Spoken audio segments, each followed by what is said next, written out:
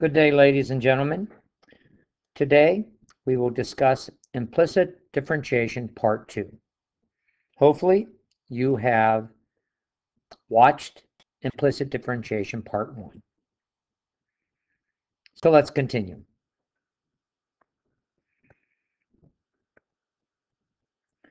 Consider a partial graph of the equation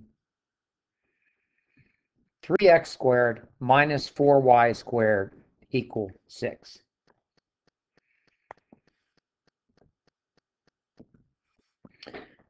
At this point in the game, we will not need to know how to graph that. It's enough for us to know that this is the graph of this equation. Notice this particular equation is not a function of x, nor is it a function of y. But this particular equation is graphed on the xy coordinate axes. And if it is graphed on the xy coordinate axes, it's enough for us to say that this graph does have tangent lines.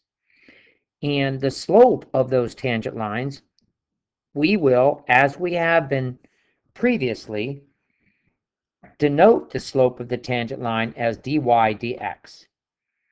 So it's enough for us right now to realize that dy dx exist for this particular equation. Given this equation, given the graph of the equation, a partial graph, dy dx does indeed exist. So how are we going to go about finding this derivative of y with respect to x, or this dy dx? We'll go to the next slide. Well, before we find out exactly what dy dx is, let's talk about the nature of dy dx, which we know is the equation, is the slope of the tangent line. And if we notice, if I'm in quadrant 1 here, over here in quadrant 1, I have just an example of a tangent line to that graph in quadrant 1, and I see that dy dx is positive. Here, in quadrant 2, I have an example of a tangent line, of a line that is barely touching. I'll scoot it over just a tick, so it is tangent. And it's enough for us to realize that now that dy dx is less than 0. In like manner, if I were in quadrant 3, that dy dx would be positive. If I was in quadrant 4, that dy dx would be negative. So let's find this dy dx for this equation. What I'm going to do is start with that equation, and since I want to find dy dx, I'm going to differentiate both sides of that equation with respect to x. I'm going to d dx it. And I'm going to d dx this particular part first. This derivative is easy. If I differentiate 3x squared, that's simply going to be, let's go back to a decent color here. That's simply going to be 6x, easy enough.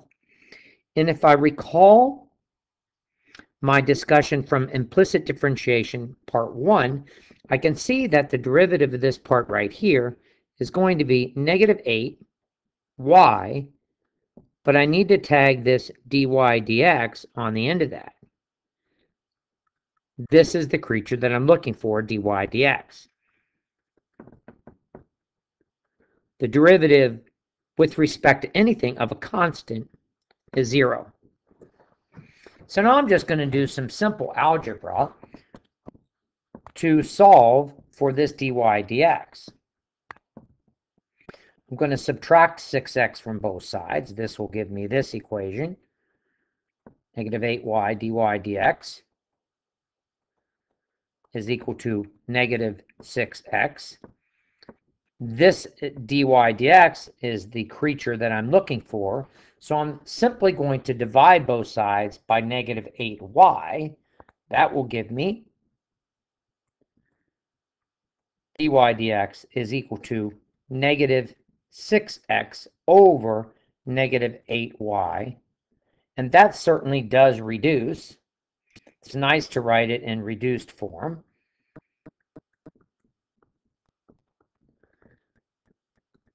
Three fourths x over y. So now I have dy dx, and I will be able to find the value of dy dx given any xy point on that particular graph. So the derivative of y with respect to x is 3 fourths x of y, or the slope of all those tangent lines to that graph, 3 fourths times the x point divided by the y point. Let's go back and look at that graph. And we can see, here's our derivative. Here's our dy dx, the slope of the tangent line. And we can see that if I take any tangent line in this quadrant here, in quadrant one, x and y both are positive. Positive divided by positive, positive. 3 fourths times a positive, yes, indeed, is going to be positive. If I take a tangent line here, we'll use a different color in this quadrant, as we've said before. Here, my x's are negative and my y's are positive, and negative divided by positive is negative, and these rascals are indeed going to be negative. I could again take another tangent line over here whichever one I want. We use a different color on this one. Use a nice yellow color. Well, that came out to be black, sorry.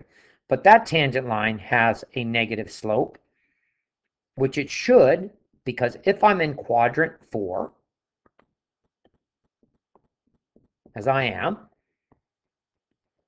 the x's are positive and the y's are negative. Therefore, positive divided by negative is negative times a positive. These guys should indeed be negative. In like manner, if I would take any tangent line over here, make sure that was tangent, the x's and the y's both are negative. Negative divided by negative is positive, times positive, all those tangent lines would be positive. So we found, and there's a lot going on here, we could pull those tangent lines out of there just for a moment Let's get them out of there. They're messing everything up. It's a good place for it. So we found dy dx for that particular equation, which equation we were looking at. We were looking at this equation here. 3x squared minus 4y squared is equal to 6. The graph of that, and we found the dy dx. So let's do, before we close this video, let's take example number two and find dy dx for the equation 2xy plus 4y squared is equal to 6x. Given without a graph, let's just do some analytical work here and find this dy dx. And we will use the same process as we did before. We're going to d dx both sides of this particular equation. So let's get started. Ooh, this very first part, this guy right here, the derivative with respect to x of 2xy, xy we know is a product. So let's get back to this piece in a moment. Let's do this piece right here, which we know. If I'm going to d dx this piece, this is going to be 8y. I need to tag a dy dx on that. And if I d dx differentiate with respect to x of 6x, that's simply going to be a 6.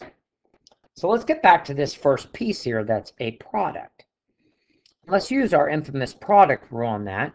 And let's let this piece right here be f, and this piece right there be g. And let's use our product rule. This is going to be f prime g plus g prime f let's not absolutely not forget that we are going to, we still have these pieces here, 8y dy dx, which is equal to 6. Let's get back and use this product rule. we see here that f prime is 2. Let's put that rascal in there. f prime is 2, and g is y. g prime, if I'm just differentiating this guy right here, the derivative of y with respect to x is simply dy dx. And we remember that from implicit differentiation day one. f is 2x. So let's write that rascal there. And so now I have three terms on the left side of the equation that, yield, that yields the derivative of this particular equation that we started with. 2xy plus 4y squared is equal to 6x. It yielded three terms on the left because of this product rule, of this product here, and I had to implore the product rule. So what I want, I want dy dx. So I'm going to take this term here and move it to the right side of the equation by subtracting it. And I'm going to rewrite my, clean this up a little bit, put the 2x out in front. At 2x times dy dx plus 8y dy dx. Keep in mind I subtracted the 2y, so that's going to equal 6 minus 2y. I'm not finished yet. Couple steps and I will have solved for dy dx. The next step is a step that most people get stuck on. What I'm going to do is I'm simply going to factor the dy dx out of both of these terms. What does that yield? Let's go to a color that we can see.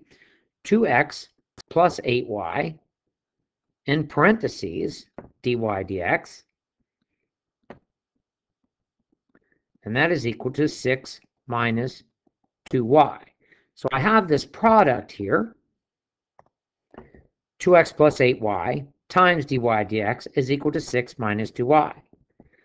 I'm left with one final step, and that is to divide both sides by 2x plus 8y. So dy dx for that particular equation that I started with is 6 minus 2y divided by 2x plus 8y. And that is the derivative of that equation that I started with. We'll zoom out just a tick.